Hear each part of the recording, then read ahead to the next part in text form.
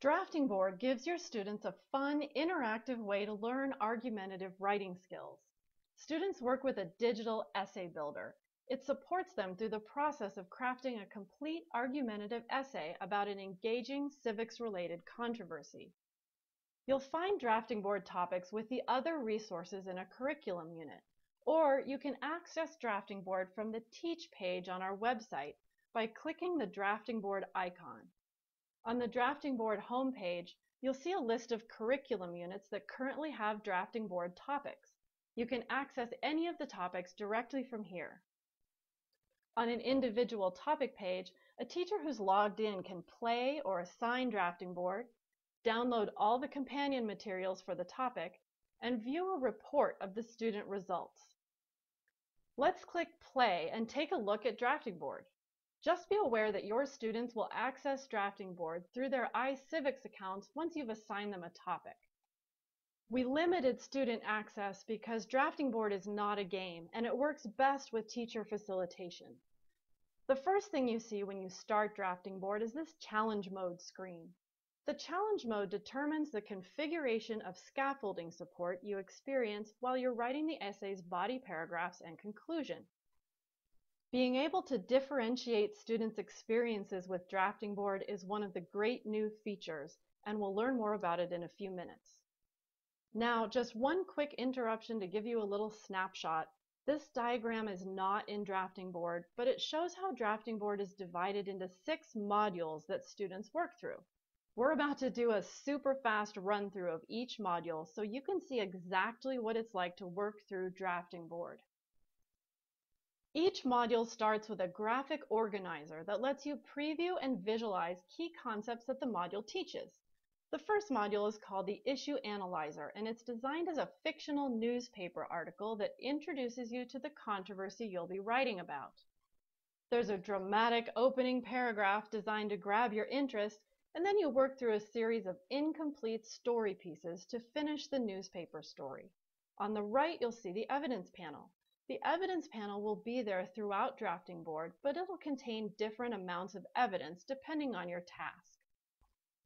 You complete the story by deciding which of the three available pieces of evidence correctly completes the blank. As you work through, you'll see evidence and points of view from both sides of the issue. This helps you learn enough about the issue to form an opinion. When you finish the story, Drafting Board compiles all the pieces together and highlights mistakes in red. You go back and fix those story pieces. Then Drafting Board asks you to choose a side. The side you choose is the side you'll argue for in your essay. You'll know you've finished the module when you see the big white star. In the Claim Creator, you choose reasons to support your claim and you find evidence to support those reasons. Start by choosing three reasons from a set of four that Drafting Board provides. In the main part of the claim creator, you'll see your three reasons and two boxes next to each reason. You'll also see that the evidence panel is full of evidence. Your job now is to find two pieces of evidence that support each reason. When you open a piece of evidence, all the boxes change to plus signs. If you think the evidence matches one of your reasons, click one of the plus signs next to the reason. When you do that, Drafting Board asks if your evidence makes sense as support for the reason you're trying to match it with. If you click yes, you'll see that the piece of evidence has been added next to your reason. You continue through the evidence this way, reading the evidence and matching it to your reasons. When you're finished, Drafting Board will show you if you've made any mistakes. Hovering over a red incorrect box brings up a hint for finding the correct evidence. You'll need to remove the wrong evidence and find the correct matches before you can finish the claim creator. The paragraph constructor is the module where you write the essay's three body paragraphs. You actually go through the paragraph constructor three times, once for each paragraph. Drafting Board offers three levels of scaffolding support for writing the body paragraphs. Right now you're looking at the highest level of support. The paragraph is pre-written except for two blank spaces. The topic sentence is one of your reasons. In the evidence panel, there are only two pieces of evidence. These are the two pieces that you match to this reason in the claim creator. At this level of support, there are three clickable sentences in the evidence. Clicking a sentence auto-completes the space in the paragraph with information from the sentence. We call this the autofill level of support. You decide which autocomplete response completes the paragraph correctly. After you've completed both sections of the paragraph using both pieces of evidence, Drafting Board helps you choose appropriate transitions and place them correctly. There's a list of transition choices, and you can click or hover over a transition to see its definition and an example of how to use it in a sentence. Next, you can freely edit your paragraph. The auto-completed answers appear in blue. The transitions you typed appear in orange. Throughout Drafting Board, all of your own writing will appear in orange text so you can easily distinguish it from Drafting Board's text. Now you're looking at the middle level of scaffolding. The paragraph is pre-written, but this time it contains blank areas that you complete in your own words using information from the evidence. We call this the paraphrase level because you need to paraphrase the ideas in the evidence in order to complete the sentences. After you add transitions and edit the paragraph,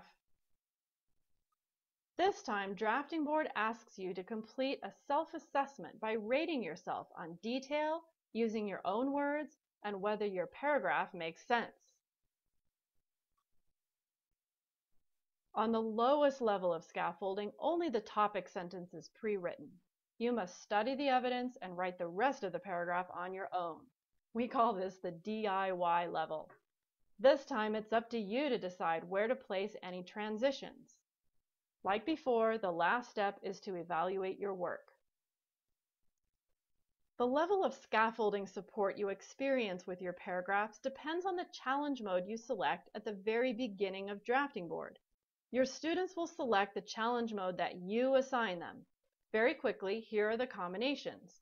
Default has just one of each type, just like we saw. Level 1 has one autofill and two paraphrase. Level 2 has three paraphrase. Level 3 gives you two paraphrase and one DIY. Level 4 has one paraphrase and two DIY, and surprise, level 5, all three paragraphs are DIY. Before starting Drafting Board, it's really important to use the matrix in the teaching guide to decide which challenge mode to assign your class and to any individual students. Make sure they know their challenge mode before they start.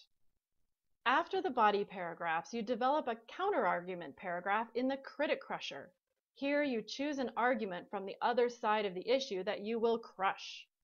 The Critic Crusher teaches a counter-argument format that you can reproduce even outside of Drafting Board. You begin by piecing together a practice paragraph. For this, you complete a series of matching and multiple choice activities to learn the structure for the counter-argument paragraph. The directions at the top of each screen help you understand the purpose of each sentence. You'll need to open and read both your own and the other side's evidence in order to understand and make the counterargument. You then complete a second paragraph, crushing the same reason with different evidence. This is the paragraph that will be included in your essay. You follow the same structure, but this time you complete fill-in-the-blank sentences. Going through the process twice helps reinforce the counterargument concept and structure. After every module in Drafting Board, you see a progress screen that shows you where you are in the Drafting Board process. This is what it would look like after completing the Critic Crusher. The thermometer on the left shows your progress through the modules as they appear in Drafting Board. The boxes on the right show your progress through the elements of the essay in the order they actually appear in the essay. The View Your Essay button lets you see and edit your work. Finally, you write your introduction and conclusion paragraphs. The introduction introducer shows you how to construct an introductory paragraph that pulls the reader into the essay. A categorizing activity shows you several attention-grabbing ways to hook the reader at the beginning of the essay. Drafting Board matches each hook to a bridge sentence, asks you to choose the one you like best, and then pieces the rest of the paragraph together for you by adding your three reasons and your claim. You finish the paragraph by adding transitions and editing. The Conclusion Crafter shows you how to write an effective concluding paragraph, including how to say what you said before, but in a different way. The Conclusion Crafter supports you in learning to restate your claim and reasons in a new way. The Conclusion Crafter has three support levels to help you restate your reasons. These support levels mimic those in the paragraph constructor, and they're also determined by the challenge mode you select at the start of Drafting Board. The highest level of support gives you four pre-written ways to restate your reason. You choose the one you like best. The middle level also gives you four ways to restate your reason, but these are in closed format. Pick the one you like best and complete it using your original reason as a guide. The lowest level of support lets you restate your reason on your own, again with your original as a guide. After restating your claim and reasons, you do a categorizing activity to learn about effective clinchers to end your essay. Choose one, edit your paragraph, and you're done. Finally, you have one last chance to edit your entire essay. At the end, your students can either print the essay, redo drafting board, or just close. It's okay if they don't print now because when you assign a drafting board topic to a class, student essays and data are saved in your MyICivics account. When you're logged in, you'll click that View Report button on the drafting board topic page. This button takes you to the main report page. From here, you can view data about the evidence matching activities, view individual student essays, or even download all the data for your class at once. Getting ready to use Drafting Board is easy. A one-to-one -one computing situation is best, so you'll need to arrange for computer time.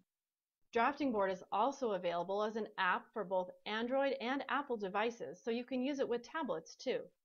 You'll need more than one day with Drafting Board, but they don't have to be consecutive, and Drafting Board picks up where your students left off. Before your class starts Drafting Board, you'll want to check out the support materials and photocopy the ones you want to use. We've got lots of great stuff, like two different pre-writing options, and a helpful progress tracker students can use while they're working and you can use to review if there's a lag time between sessions with Drafting Board. You'll be glad to know you don't have to watch this video again if you forget any of this information. On every Drafting Board topic page, you'll find all the support materials along with the teaching guide and tips, which has all the instructions for getting started with Drafting Board, tells you all about the challenge modes, and it even tells you what to watch for over students' shoulders while they're working. Right now, Drafting Board has seven topics that give students a deeper look at a variety of civics-related subjects, and we've got more on the way. At iCivics, we think civics and literacy is a perfect match. Thanks for taking the time to learn about Drafting Board. We hope you love it as much as we do.